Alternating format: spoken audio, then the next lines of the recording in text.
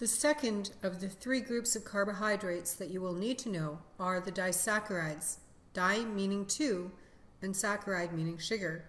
So two monosaccharides bonded together make a disaccharide and this is what it looks like. We have two six-sided carbon rings bonded together.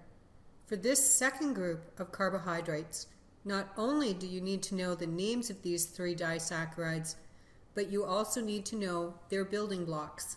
The first disaccharide we're going to talk about is sucrose. Sucrose is the scientific name for table sugar. And if I asked you what table sugar tastes like, you would probably tell me it tastes sweet.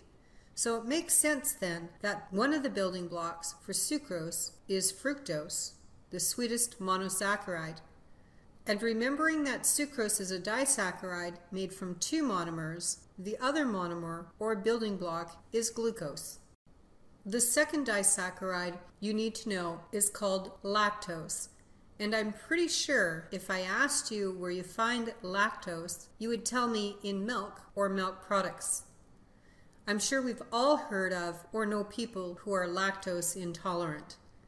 Those people who are lactose intolerant have lots of stomach problems whenever they ingest milk products. Lactose is made from a monosaccharide that sounds much the same. So one galactose molecule and one glucose molecule make up lactose.